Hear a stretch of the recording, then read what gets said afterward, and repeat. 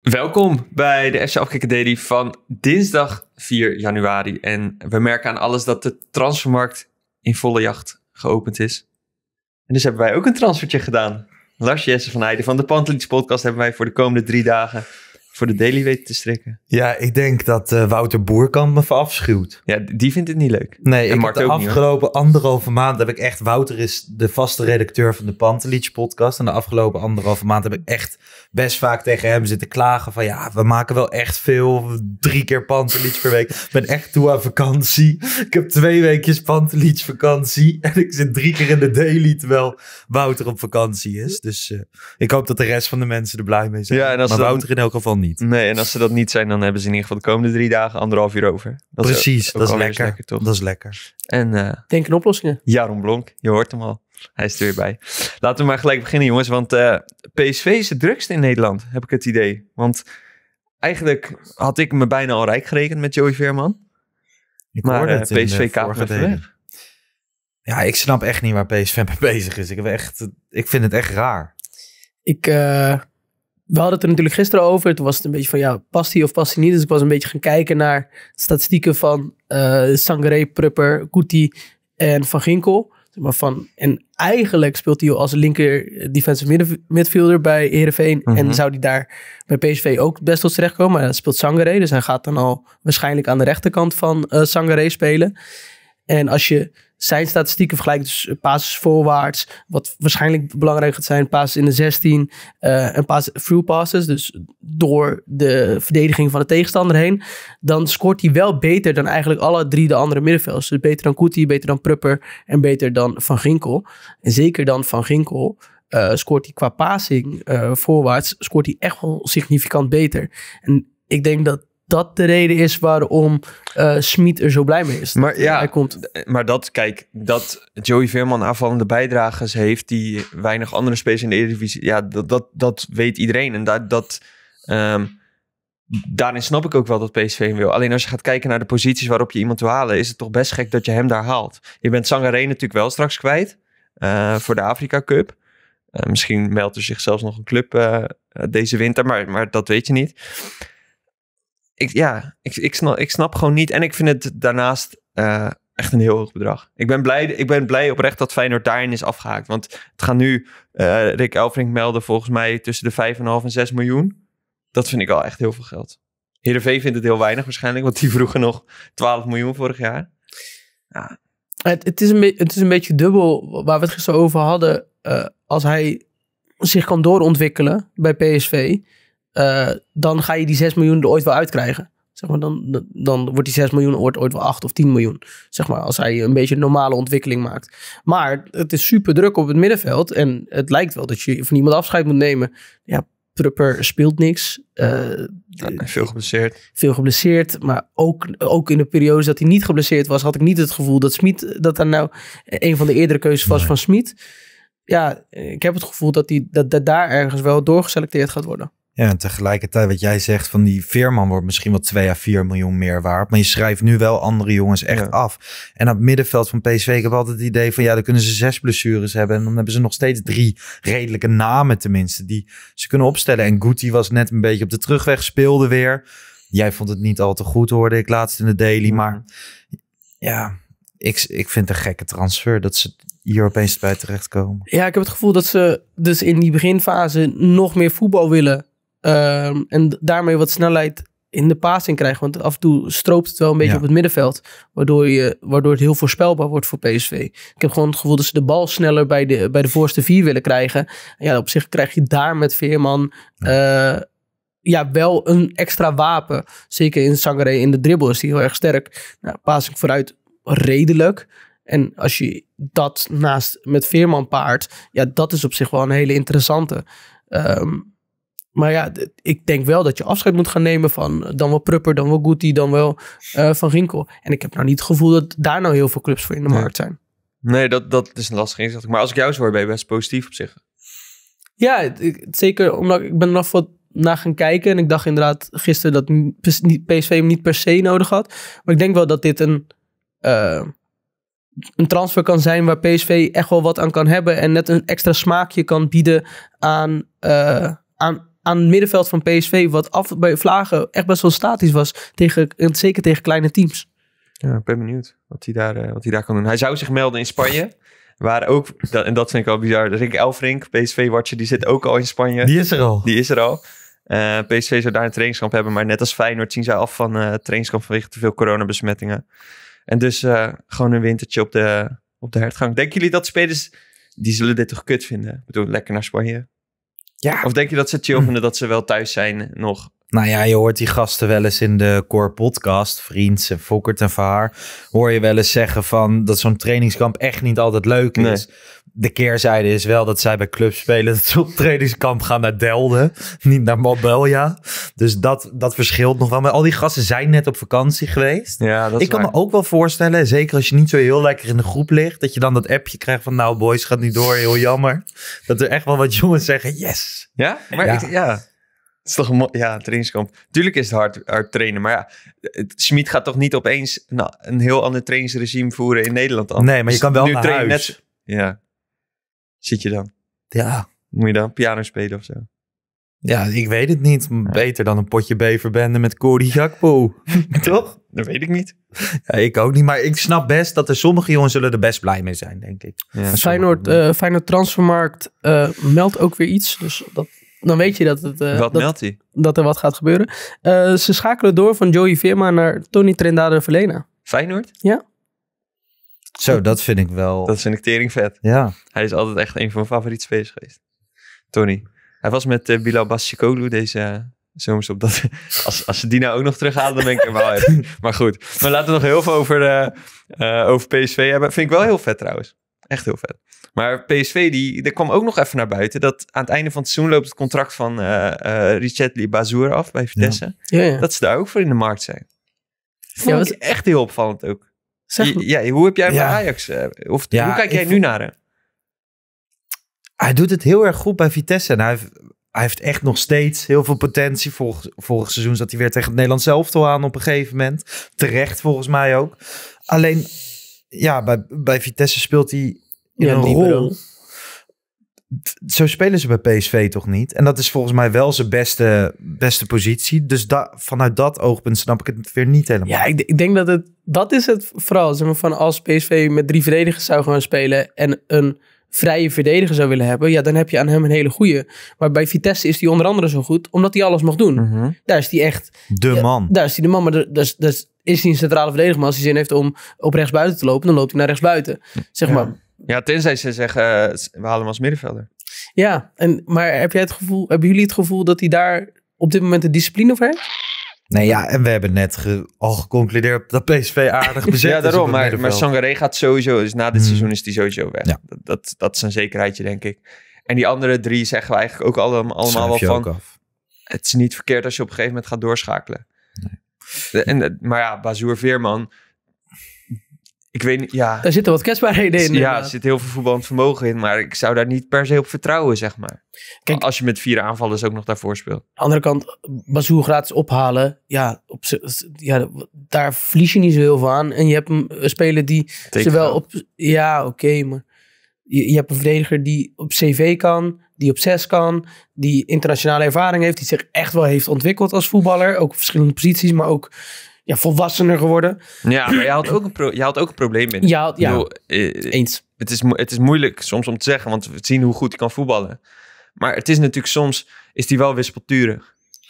Plus met zijn kwaliteiten, ja. Weet je, hij kan prima in de baas van PSV komen, maar ja, Schmid kan hem ook zomaar op de bank zetten op een gegeven moment. Als hij op de bank zit, inderdaad, dan wordt het hoofdpijn. Plus hij is daar ook echt op een nare manier weggegaan Mhm. ooit naar Ajax. als het grootste talent van de jeugdopleiding. Ja. Dacht hij van, hé, hey, ik ga even naar Ajax. De supporters namen, dat, namen hem dat niet in dank af. En terecht, denk ik. Ehm, ja, ik vind dat allemaal bij elkaar wel opvallend. Ik zou het als ik hem was ook niet, eh, niet per se doen. Misschien wil hij nog wel een keer naar het buitenland. Hij schijnt voor open te staan. Maar er schijnen ook wel eh, buitenlandse interesse te zijn. Want hij heeft bij Porto gezeten, Wolfsburg gezeten. Ja. Allebei eigenlijk niet echt overtuigend. Wolfsburg in het begin was nog redelijk, of niet? Wolfsburg begon die, begon die leuk. Alleen eh, toen kreeg hij ook inderdaad vrij snel eh, onder andere een mond met de trainer. Ja. Eh, raakte hij buiten de selectie. Ja. Ja, dat... eh, en natuurlijk bij Utrecht was het ook niet heel bijzonder. Nee. Nee, Absoluut niet. Bij Vitesse natuurlijk wel, maar ook eh, ja, wat we net zeggen. pas in- vanaf deze positie. Ja, toen die volledig de vrijheid kreeg in Ja. die rol. En eh, ja, je moet goed nadenken. Maar ik, ik denk, ik zou het wel aandurven voor eh, gratis. Ja, het is een speler die straks 27 is, denk ik. 26, 27. Dat is een prima leeftijd om... ja, ik denk dat die echte grilligheid, die, die Wolfsburg, die Porto grilligheid, dat dat er wel Ja. een beetje vanaf is. Ja. Dus met Veerman en Bazoer is het wel een beetje een gekke wending of zo van de koers van PSV. Een Ja. beleid, dat snap ik vooral niet. Van opeens ga je voor Nederlandse spelers van midden 20, waar het voor mijn gevoel kwam PSV altijd met van die mooie tropische verrassingen. Weet je, als zo'n Guti komt aan en je- ja, ik had hem dan nog nooit zien spelen. Maar dan denk je wel van ja, dit is een goed, goed voetballertje. Die haren strak naar achter, weet je wel. Aan alles zie je van dit wordt wat moois. Uiteindelijk pakt het niet zo goed uit voor PSV. Maar dat vind ik leuker dan de saaie Joey Veerman uit Volendam. Nou, ik vind Joey Veerman niet saai. Ja, kijken. Ja, maar nee, maar het is geen verrassing op het veld. Je weet wel ongeveer wat hij kan. Ja, ja. Ja, ze zijn inderdaad echt totaal veranderd. Ze halen alleen maar Nederlands, maar ook Ver- Verginkel, eh Ja. Prupper. Prupper. veel oude bekenden terughalen. Terwijl inderdaad vroeger eh, Bra Braziliaanse Ja. Argentijnse competitie was eh Het John de Jong effect misschien. het John de Jong effect. Wie weet. Voor de schoot. Hey, er zijn nog meer eh, transferverhalen in de Eredivisie. Max de Waal. Max de Waal, Pek Zwolle. hè? Ehm, En zijn contract verlengd ook. Komt ja, Ajax bij. wil dat dan altijd. Dan verlengen ze het contract en dan mag hij eh, op huurbasis weg. Ja, Max de Waal bij Jong Maar Ajax. Ajax, wil het altijd. Ja, omdat ze dan nog restwaarde creëren. En op zich is dat wel logisch. Je hebt ook wel eens clubs die vuren een speler en die heeft daarna nog een jaar contract en doet het dan prima. En die denkt van, nou ja, dan verleng ik ook niet meer. Ajax is dat altijd wel voor. Dat doet Overmars goed.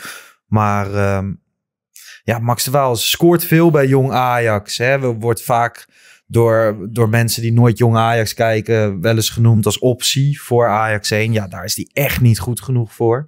Gewoon, hij heeft een heel goed schot. Maar ja, zijn basistechniek is net niet goed genoeg. Zijn eerste aanname is niet goed genoeg. Ehm, dus je ziet wel van ja, het is volgens mij een goede spits voor de onderkant van de eredivisie en eh, de KKD.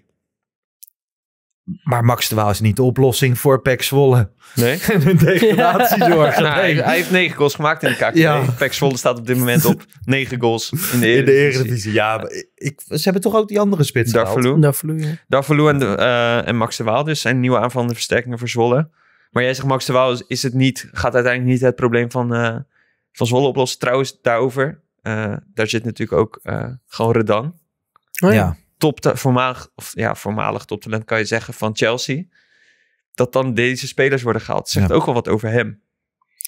Ja, ik denk dat hij ook nog niet helemaal even kunnen brengen wat ze, wat ze gehoopt hadden. Hij heeft ook nog een paar keer hangend Ja. vanaf links gespeeld, meen ik.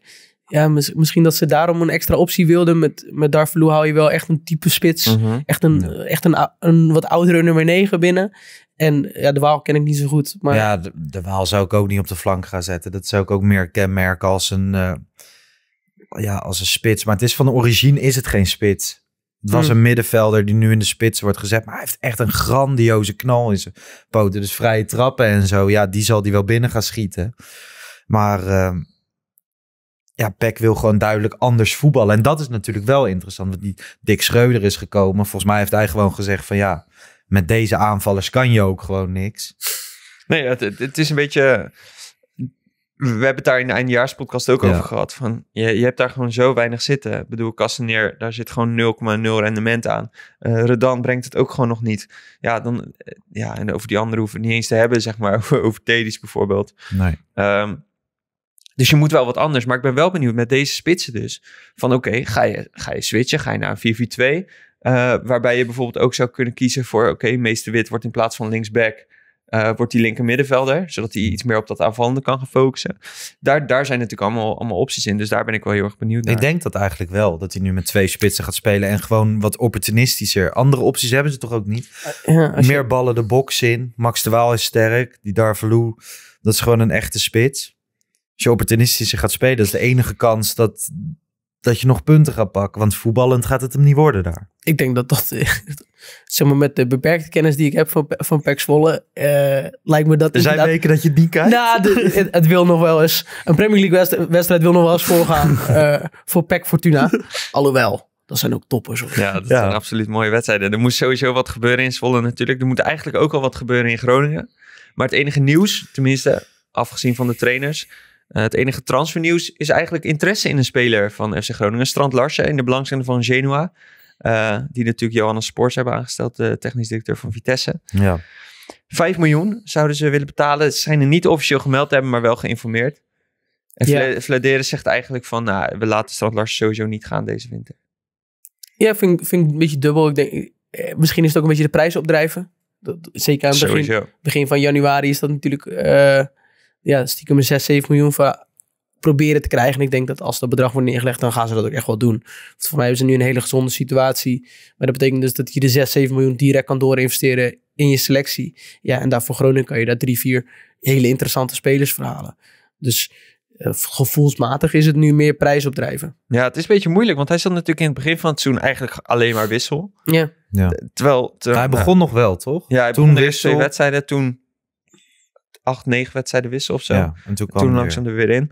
Ehm, terwijl, ja, volgens mij zien we allemaal wel dat het echt, echt een hele goede, Ja. of tenminste een hele goede, Ja. echt een goede spits is. Zeker voor eredivisie niveau Mhm. vind ik hem echt goed. Ik vind hem technisch vind ik hem echt best wel goed. Zeker voor zijn lengte. Eh, ja, qua fysiek is hij eh, zeker voor de eredivisie echt een hele goede speler.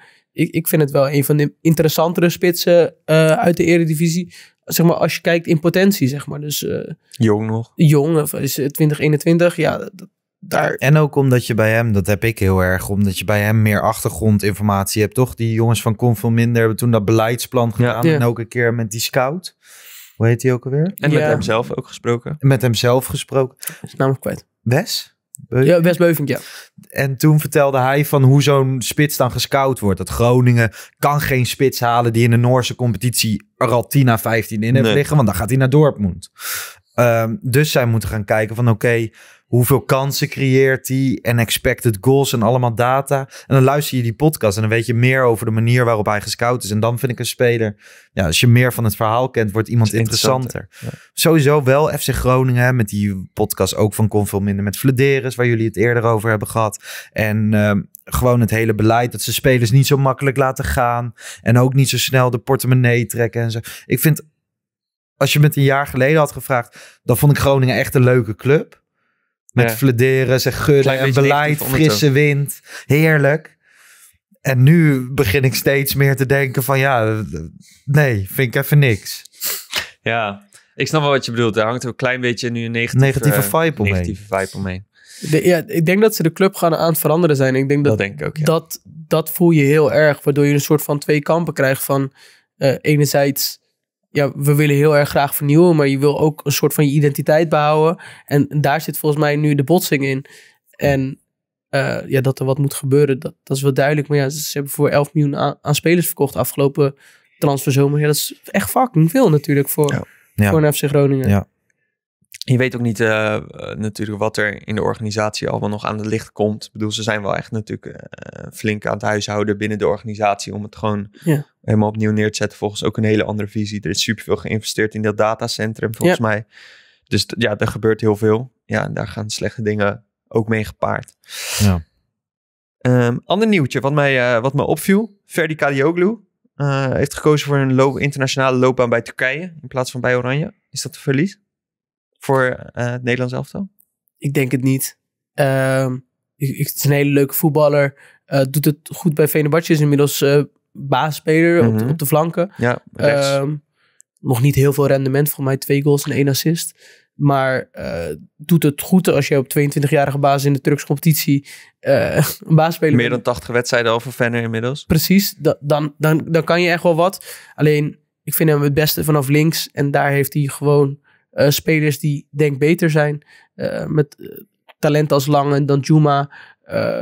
Ja, ik denk niet dat hij die van dat niveau is.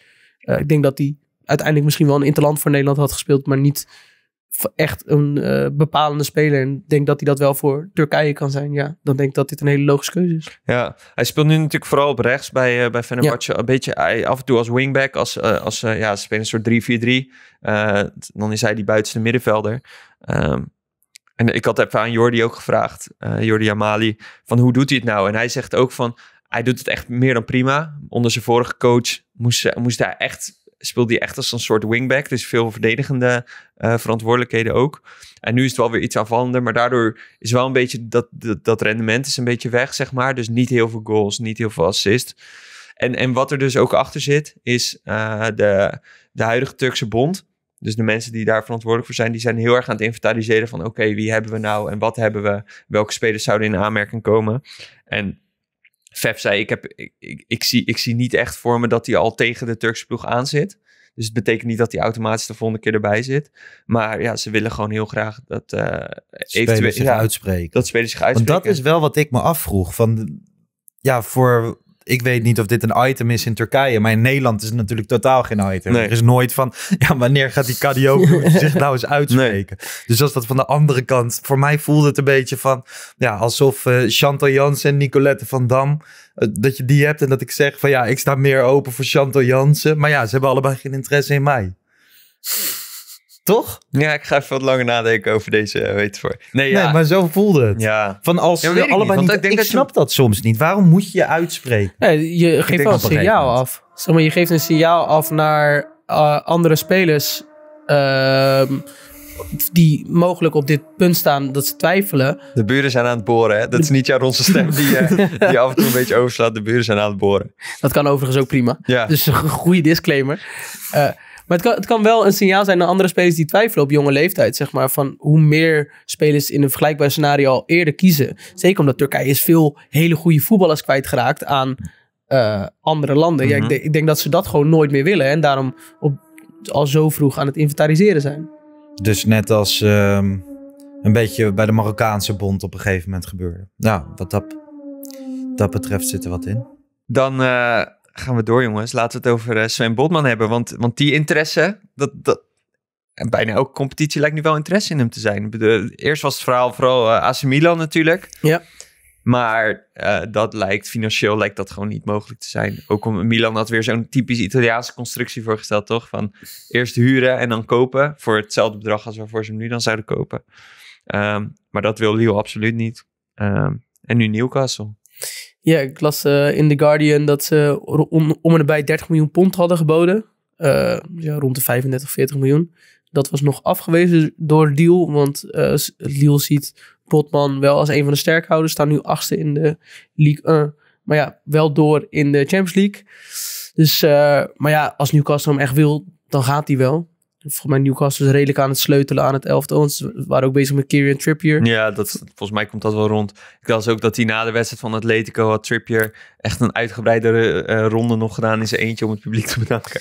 Ja, 25 miljoen pot voor 31-jarige Engelsman. Ja. Nou ja, Newcastle, Zo, Newcastle wordt in, is in ieder geval absoluut de prototype ja. waarvan je denkt dat het het is. Ja. Dus uh, dat is dan wel geinig. Ja, ik weet niet, denken jullie dat een verstandige stap is naar dit Newcastle? Mm.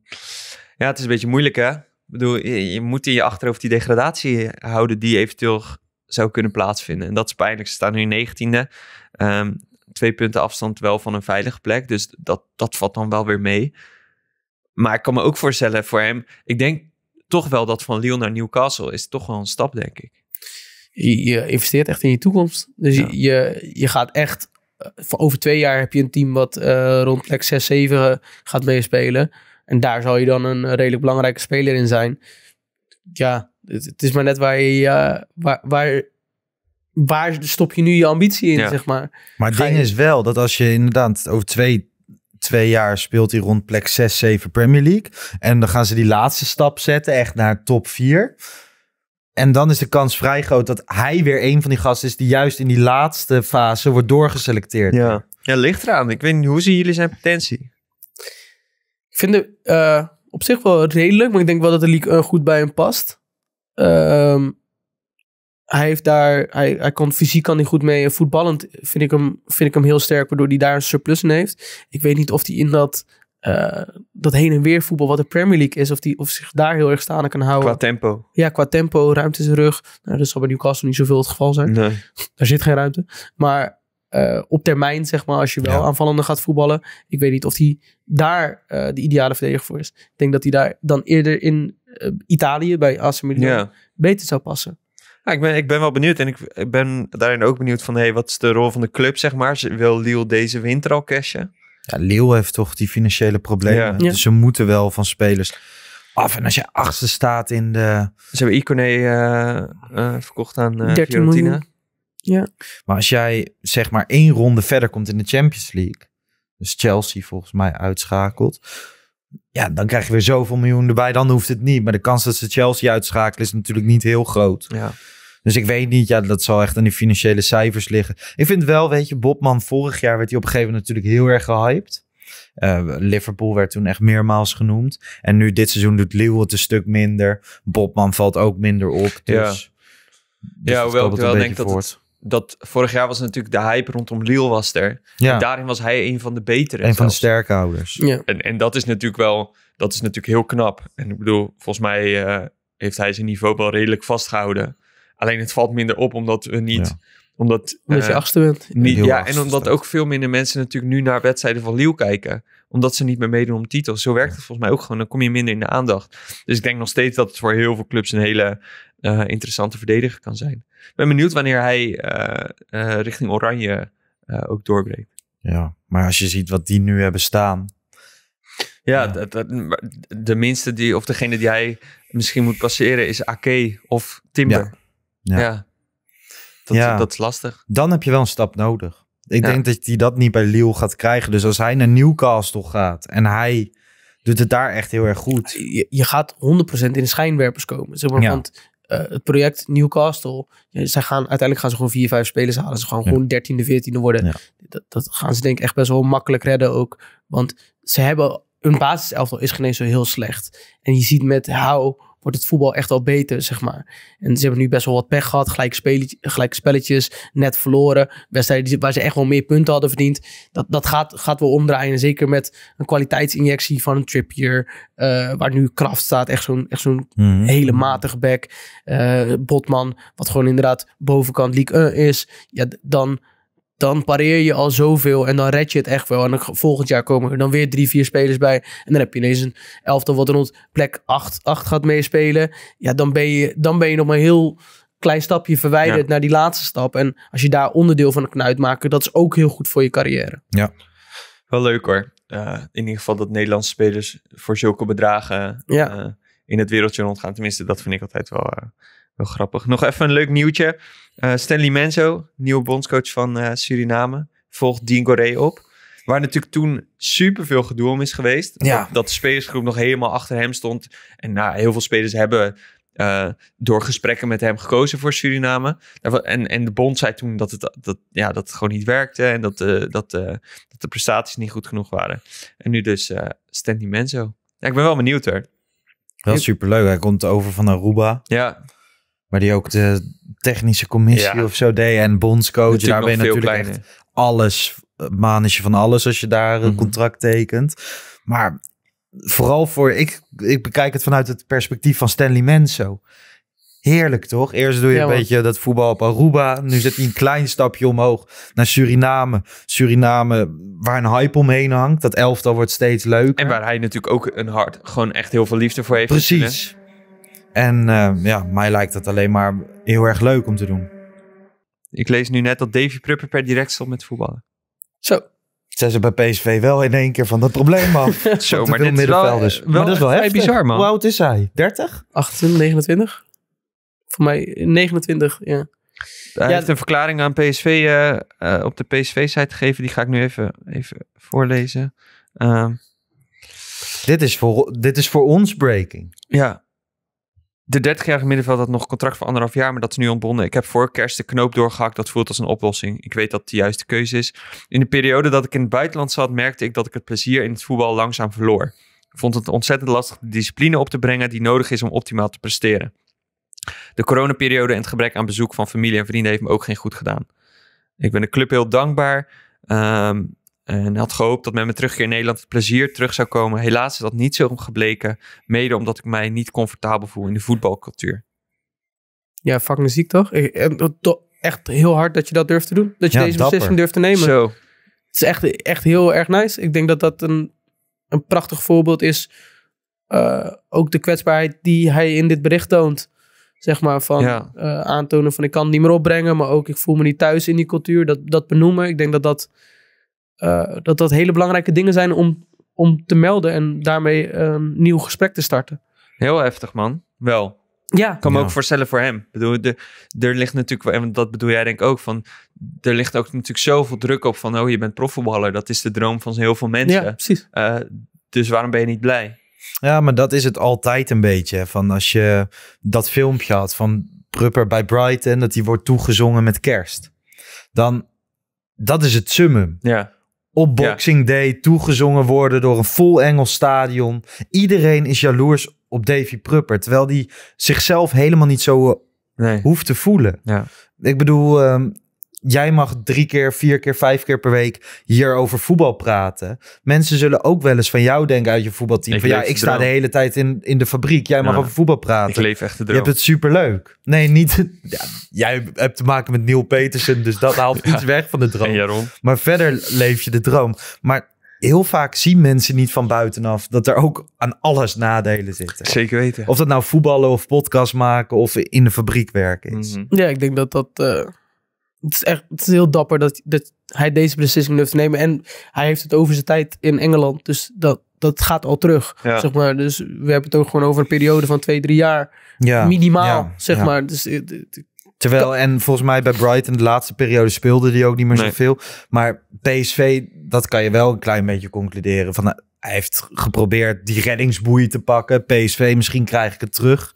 Maar dat is gewoon niet gelukt. Maar waarschijnlijk valt PSV hier niet heel, te, heel veel te verwijten. Nee, Nee, Er nee, nee. geen plezier meer in. nee, nee, volgens mij, nee. Als, als je op een gegeven moment inderdaad die knop niet meer kan omzetten. eh, om wat, wat voor reden dan ook. Ja, dat, dat- daar zal.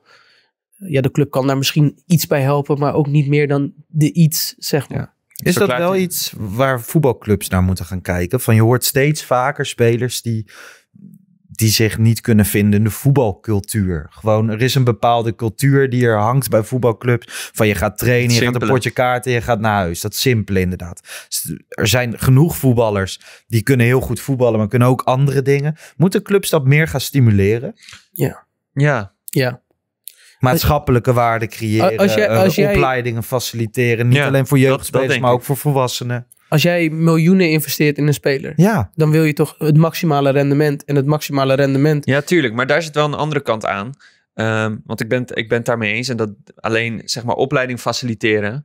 Ehm, ik, ik denk dat clubs dat zouden moeten doen, dat het heel goed is. Alleen aan de andere kant, je mag ook nog wel van eh, mensen zelf verwachten dat als zij iets willen, dat ze dat zelf gaan doen. Ja, maar eh, het lastige is dat je een hele andere cultuur opgroeit. Ja. Waarin, Zeker weten. waarin, er veel, waarin het veel moeilijker is om te vinden wat datgene is wat je zelf wil doen. Zeg maar, dus de, de helpen, eh, het is gewoon hal- een, ja, als het al vanuit de club gefaciliteerd wordt, wordt het makkelijker. Daar ben ik mee eens. Ja, want al die gasten, ook al die jeugdspelers, die gaan nu tegenwoordig geen eens meer naar een middelbare school, maar gaan gewoon bij de club.